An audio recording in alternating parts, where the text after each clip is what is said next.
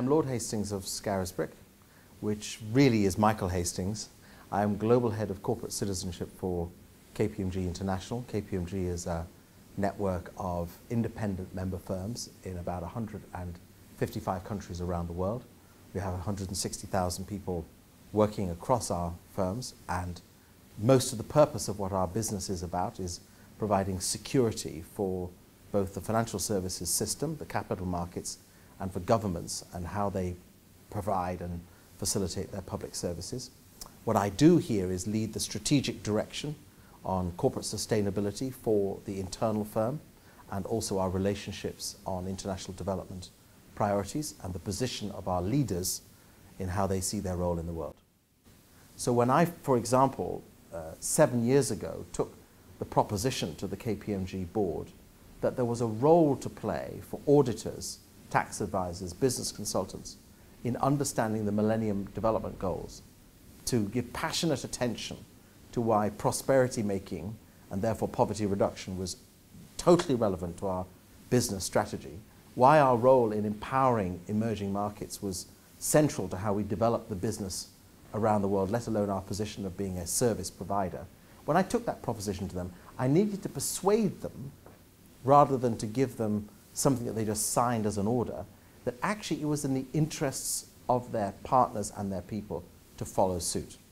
So I think a critical role in empowering change in a partnership is, is vision and then practical demonstration of how that vision delivers difference. In other words, does it build the capacity of the organization to be strong. And I would say, without doubt, we've been able to do that. If I move on to the area of international development, the big idea had to be for us that the Millennium Development Goals were as relevant to us as they were to an NGO. They were as relevant to us as they were to the UN. They were as relevant to us as they might be to investors who are looking to invest in Latin America, Southeast Asia, across the continent of Africa and its countries. So what would we do practically? Well, what we would do practically is we would buddy up with some of the biggest NGOs in the world, World Vision, Save the Children, UNICEF, Millennium Promise, etc. We'd have six strategic partnerships. We'd ask the, the leading NGOs how we could assist them more effectively to do their job. Because one of the things that they tell us all the time is they need greater efficiency, they need better strategic planning, they need good financial management systems, they need improved governance, they need sharper ways to make ideas more practicable and deliverable. KPMG has the people who can do that. Do we also do the hands-on bit on the ground? Yes, we absolutely do. We do believe, I believe very firmly, that uh, there is no longer an appropriate separation between the NGO commitment to development, the business commitment to development, and the governmental commitment to development. We, we jointly authored with the World Economic Forum a major report on the future of civil society. That future that we describe in that report is that this is a common three-sided approach and all of us need to be in this for the solutions we've got to find, not for the territory we've got to define independently. So we see our role as working in tandem with a local NGO, they're working in tandem with a global business. Government has a role to play substantially, not just in resourcing, but also setting the framework to allow the development to happen, but we've got to be jointly accountable for the outcomes. If it then became the case, say, in 2030, that big business organizations were doing more than major well-known NGOs in the development space, I would rejoice at that.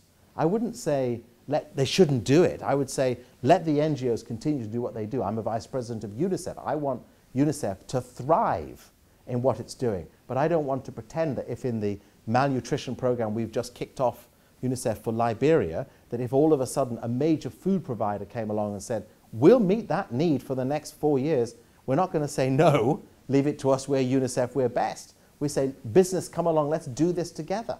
Let's get it done. And I hope that as we, as we mature in this understanding between businesses, NGOs, and governments, we, we actually break the territories down, not, not keep them up. And if I can be candid, the people who tend to keep them up are the NGOs and not the businesses. They see the development sector as their territory. Well, no, it's the territory that belongs to the people with needs.